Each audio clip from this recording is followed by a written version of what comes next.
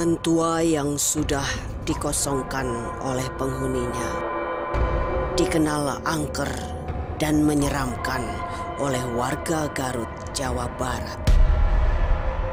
Yang seperti kuntilanak, anak kecil ketawa-ketawa pada lari. Pokoknya di sini angker.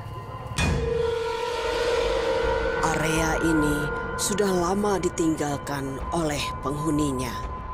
Namun, siapa sangka jika terdapat penghuni dari dimensi yang berbeda dengan manusia. Area yang dikenal sebagai mes karyawan ini sudah bertahun-tahun tidak dioperasikan sebagaimana mestinya. Bagian luar yang sudah tampak kusam dipenuhi tumbuhan yang membuatnya semakin mencekam. Keadaan dalam yang sangat berantakan menandakan tidak adanya sebuah kehidupan. Kondisi yang sempurna bagi makhluk astral guna menciptakan beragam hal yang janggal. Perempuan, kadang-kadang di sana suka dengar yang nangis, kadang-kadang ketawa. Suka ada perempuan yang rambut panjang. Kalau di sini banyak di kamar mandi itu yang banyak anak kecil di situ. Terdapat beberapa ruangan yang tampak menyeramkan dari kamar tidur, dapur, hingga bagian belakang yang kondisinya sudah tidak karuan. Beragam cerita mistis pun bermunculan dari keberadaan sosok perempuan hingga anak kecil yang sering menjadi penampakan. Badan yang sangat menarik perhatian bagi tim zona angker untuk melakukan penelusuran. Dengan penuh keberanian, kami pun datang guna mengungkap beragam cerita menakutkan. Bapak kenalin, saya Ana Cike. Saya Kris. Pak, eh, ini tempat kosong ya Pak ya? Iya. Oh enggak, soalnya dari tadi kan saya muter-muter. Iya. Terus tiba-tiba saya ngerasain sesuatu energi mistis Pak dari tempat ini. Oh. Makanya saya ke sini terus lihat-lihat, Iya, oh lihat, emang ternyata kosong ya Pak Iya, ya? kosong. Dulunya tempat apa emang Pak? Waktu itu dijadikan oleh Ku Hamengkubuwono waktu dulu. Hmm, Bapak, eh, saya tambah penasaran. Kalau eh, saya ditemenin Bapak lihat-lihat ke dalam, boleh nggak Pak? Boleh? Sekarang ya Teh. Iya.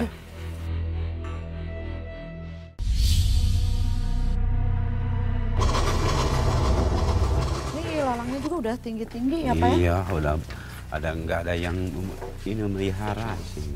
Udah kecium bau-bau Iya. apa ya? Bapak nyium Mm-mm. nggak sih? Nyium. Nyium ya? Iya. Wah. Ini Pak, awal masuk aja ini Iya. rasanya aura mistisnya udah cukup kuat Iya. ya Pak ya, menurut saya. Tapi sebenarnya di sini pernah ada kejadian-kejadian mistis nggak Pak? Ada. Kadang ada anak yang kecil. sini. Oh, oh sosok oh, goib sosok. ya? Anak kecil. Iya, di sini. Terus? Ada nenek-nenek. Nenek-nenek. iya. Kalau Bapak pernah ngalamin nggak Kalau selama di sini? saya ngalamin, Apa yang Bapak alamin? yang lihat di situ cina ada oh, ya, ya ada tapi enggak ini cuma cuma itu apa apa jirimnya aja nggak kelihatan cuma ada alang kelangkang itu aja gitu Oh, ada bayangan. ya bayangan itu Bayangan hitam bayangan gitu, Pak? hitam ya Ngelebat? ngelebat ya Oh, tapi Bapak pernah eh, apa selain Bapak eh, karyawan yang lain atau yang penjaga yang lain pernah ngalamin apa aja Pak? ya pasti katanya udah ngalamin Oh, iya. sapam juga cina Oh, udah apa, apa aja Pak? lihat ada itu apa ya an- anak-anak itu sering apa ketawain gitu Oh, suara Itu ketawa anak-anak. Mm-mm. Oh di sebelah sana ya Pak ya? Iya. Kita sekalian iya, lihat ya. Iya boleh. Punten, sampurasun.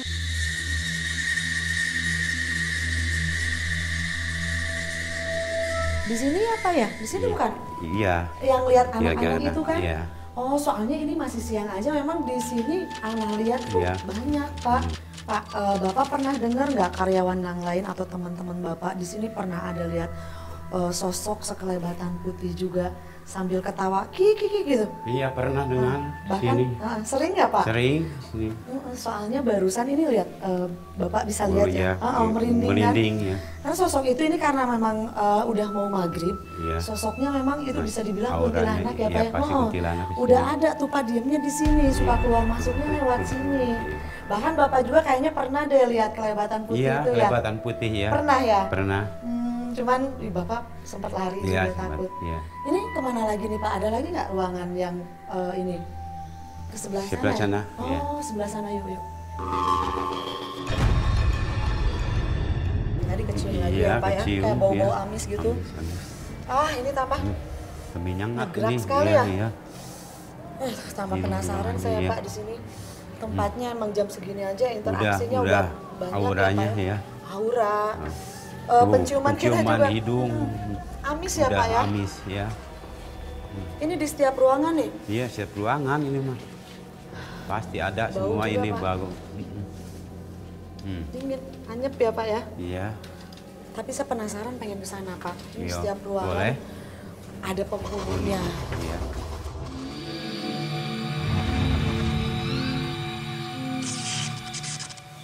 Tuh Pak, bau Hmm. amisnya ya. Iya. Au, au, au, au, astagfirullahaladzim. Ini kayak gua nih Pak di Iya. dalamnya. Bapak, aduh beneran deh. Ini baru mau maghrib, masih siang ya. Aroma-aroma bau amis. Iya. Terus juga tadi bahkan ada sosok anak kecil yang Kecil. udah kita lihat, ya Pak ya. ya. Dan setiap ruangan di sini energinya, aura Isi mistisnya semuanya. kuat. Pak, saya makin penasaran. Iya. Boleh nggak nanti malam saya mohon izin Iya. untuk menelusuri ruangan ini? Iya. Karena di sini kan tadi baru ada dua sosok Dua yang sosok, kita ya. lihat. Iya. Siapa tahu nanti malam saya bisa menemukan sosok-sosok Sok, lain. iya. Karena saya ingin membuktikan juga Pak keangkeran tempat ini. Tempat ini boleh. Boleh ya Pak ya? Ya, boleh. Yaudah Bapak, terima kasih banyak Iya, ya Pak ya. Iya. Nanti saya izin untuk malam. Iya.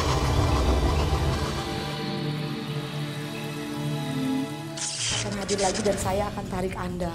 Orang bakal tungguan mana?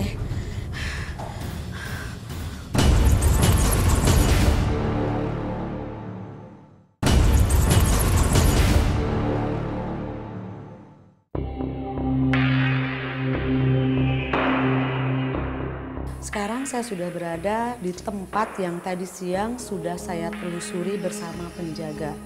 Dan keadaan sekarang sudah larut malam. Saya penasaran, ingin mencari sosok-sosok yang tadi siang disebutkan oleh penjaga tersebut.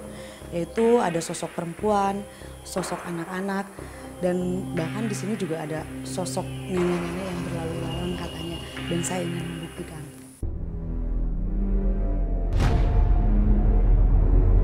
Makin malam, ternyata setelah saya masuk, energi yang saya rasakan tadi siang makin kuat dan makin kencang.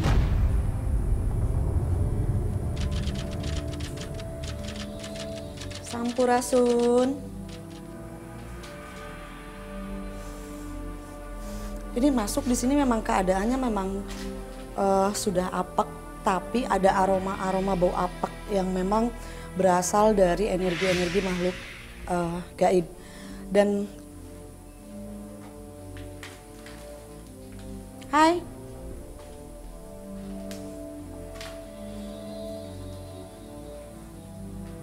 Di sini hawanya hangat. Ada dua orang. Betul sekali di sini ada anak kecil, tapi hanya dua sosok. Adek, Ujang. Saya membawa sebuah ini kalung yang biasa sehari-hari saya pakai. Dua sosok anak laki-laki yang biasanya memang mereka senang diajak eh, bermain. Dan saya akan kasihkan kalung ini, Dek, Ujang. Betul sekali di situ ada dua sosok anak kecil, sosoknya laki-laki. Dan saya memakai sebuah media kalung yang saya pakai dan mereka berinteraksi. pas diam. Jang, hai. Ayah, muhun. Mangga, nyesok. Nyesok gerakan ka gerakan kalung kalung tetehna. Ini tangan saya. Diam dan gerak iya iya. Sumuhun untung digerakkan gitu. Kasih si sareng ka, kiri sareng ka kanan. Atau ayuna ka payun sareng ka pengker. Gerakan anak ka payun sareng ka pengker. Pinter. Ujang ujang toel deh terus puterken kalung teteh na puterken puterken mohon. Muter iya cing tarik. Cing tarik puterkan anak cing tarik.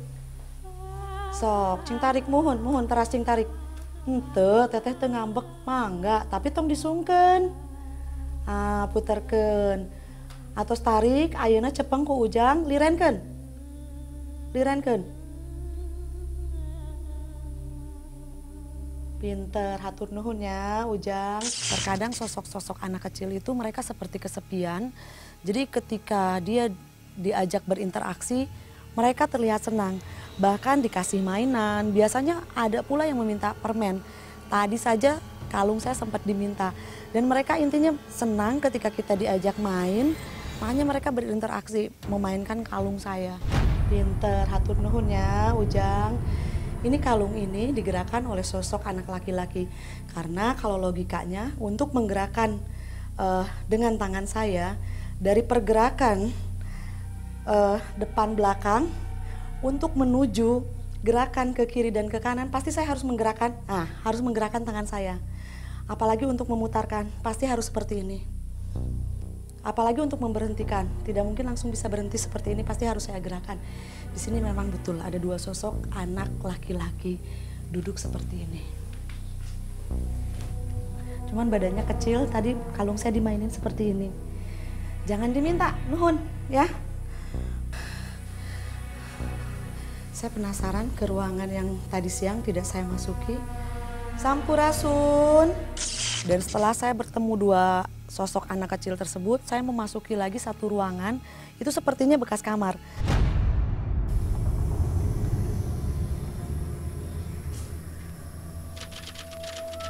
ternyata ada satu lagi sosok anak laki-laki di sini.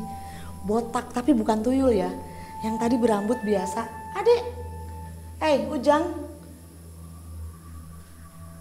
Hmm ten ten ten iya iya. Iya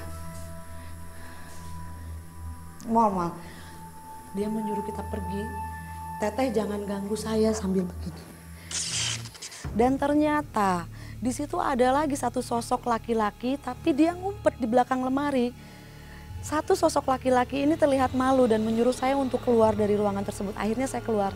Kasihan soalnya takut dia terganggu karena saya ngelihat anak kecil itu begitu manja, bukan ketakutan, mungkin malu ya. Ini kelihatannya kamar mandi, bekas kamar mandi.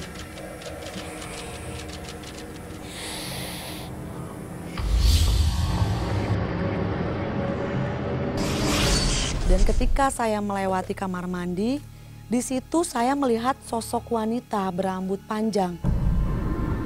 Dalam hati, dalam pikiran, apa itu sosok wanita yang disebutkan oleh penjaga yang tadi siang memang menyebutkan bahwa di tempat itu ada sosok wanita. Wajahnya sih tadi kurang jelas, yang pasti rambutnya dan tingginya lebih dari saya.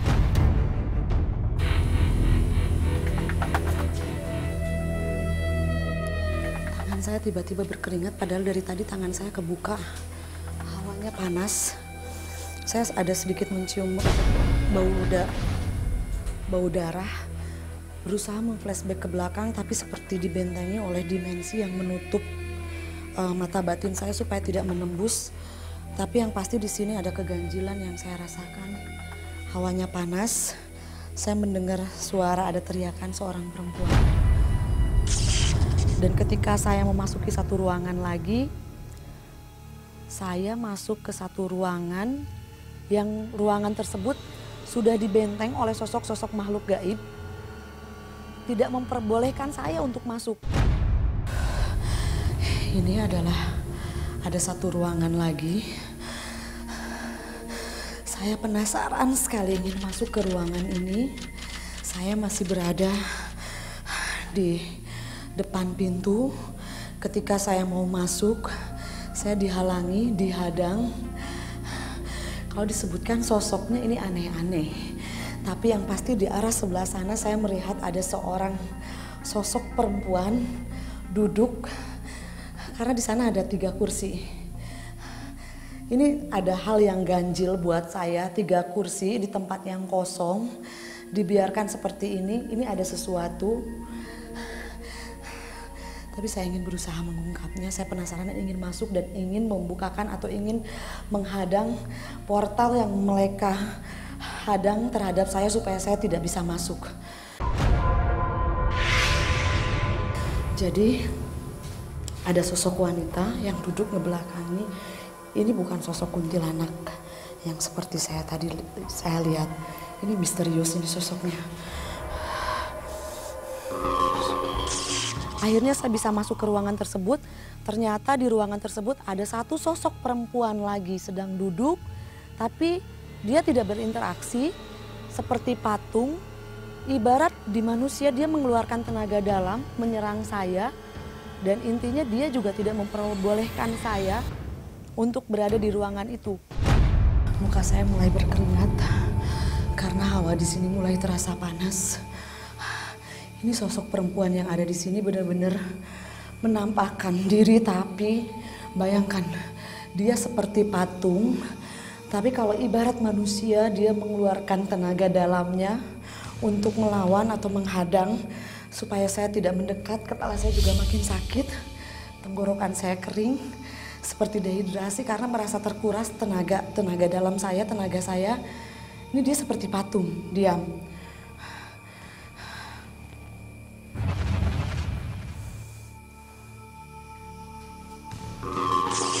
Banyak sekali hal yang memang harus dikuak di dalam ruangan itu. Tapi sampai di situ saya belum mendapatkan apa-apa. Ah, saya nggak mau mental lagi, nggak, nggak, nggak. Badan saya juga capek. Saya datang baik-baik. Mohon, ayo ngobrol hungkul. Tenanahan ya.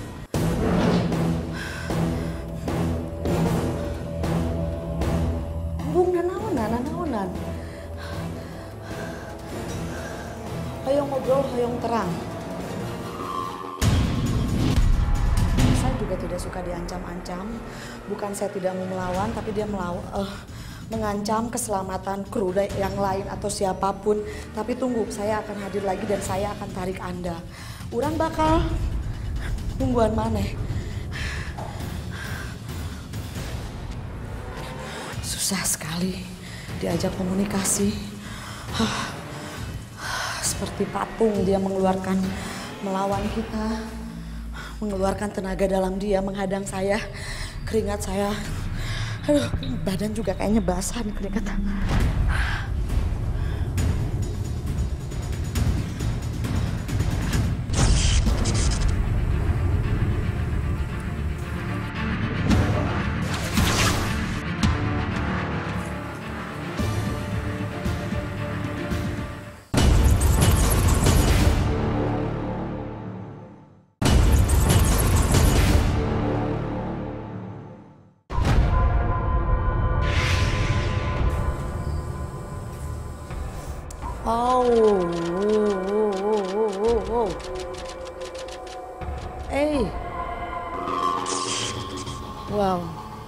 bagian belakang ruangan tersebut itu sangat mengagetkan saya.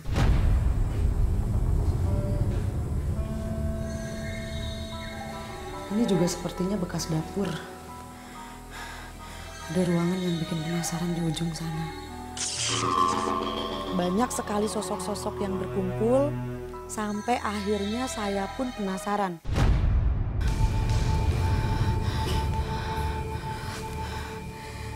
Assalamualaikum Sampurasun. Eh, eh, eh, eh. Baru saya mau masuk, baru saya mau masuk, baru saya mau masuk. ada fenomena, ada interaksi suara di atas truk, truk. Sampai akhirnya uh, saya memutuskan untuk keluar dari ruangan tersebut karena ruangan tersebut memang sudah berkumpul dan berjubel. Tadi saya sudah menyiapkan media-media untuk saya melakukan ritual di sini. Uh, kru, tolong dong minta uh, peralatannya.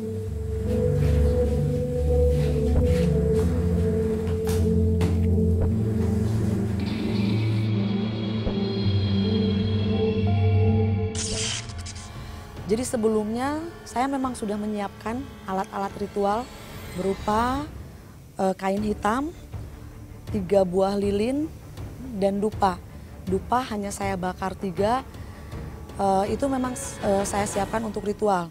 Dan satu benda pusaka yang e, memang sering saya bawa-bawa ke mana-mana karena benda tersebut energinya sudah full dan mengandung gelombang elektromagnetik yang cukup kuat sehingga bisa saya pergunakan untuk menarik energi-energi dari sisi kiri, kanan, belakang atau dari mana pun. Intinya untuk mengumpulkan berbagai macam energi.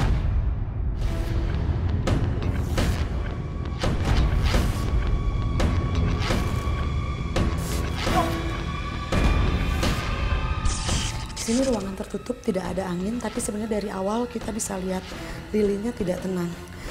Lilin terus bergerak, seharusnya nyala lilin seperti ini, tapi ini bisa kita lihat. Mereka terus bergoyang. Saya akan jauh dari posisi lilin ini. Jadi ketika kalau dekat takutnya dikira nafas, tapi ini bisa dilihat. Mereka mulai berkumpul sampurasun, bahkan tiga media lilin yang tadi saya pakai, di situ tidak ada angin, uh, tiga lilin tersebut bergerak-gerak.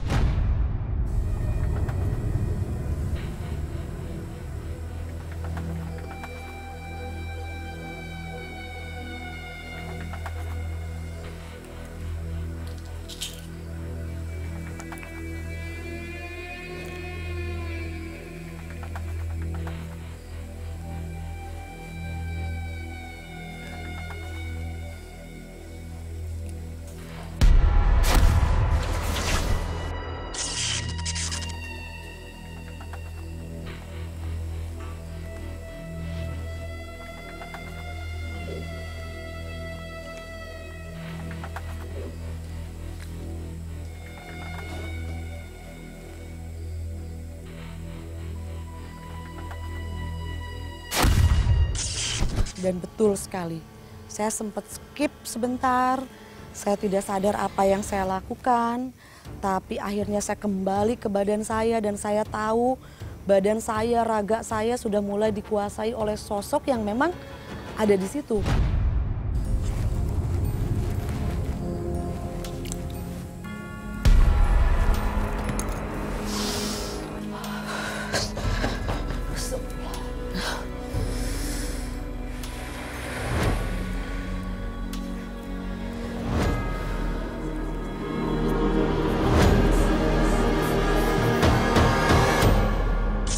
Berusaha mengatasi, masih terus bergelut bersama mereka karena mereka berusaha menarik saya untuk ikut ke alam mereka.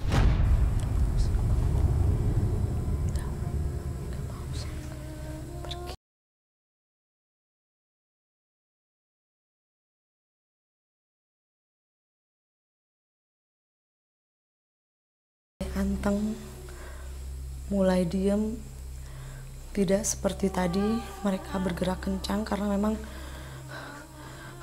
banyak sekali sosok-sosok makhluk gaib yang berkumpul di sini.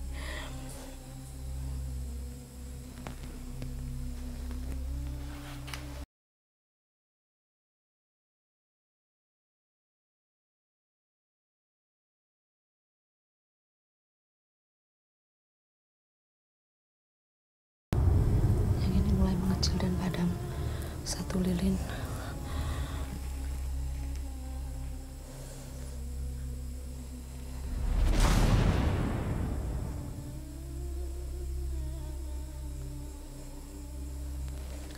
yang ini menjadi dua arah atau dua cabang dua api. Sampai tadi ada yang arahnya bercabang eh, apinya. Itu adalah interaksi dari sosok-sosok makhluk gaib yang ada di situ.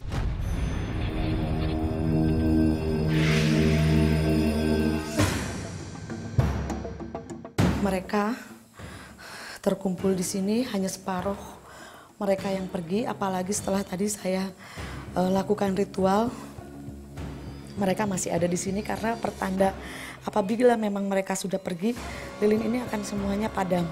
Tapi pergerakan mereka sekarang makin kencang lagi, makin kita tantang, makin mereka hadir dan hadir. Penelusuran saya sampai di sini, tempat ini memang bisa dibilang angker. Oke, saya sudah melakukan penelusuran dan ternyata memang benar sosok-sosok yang disebutkan oleh penjaga memang benar adanya, saya melihatnya, bahkan mereka berinteraksi. Dan tempat tersebut layak disebut zona angker.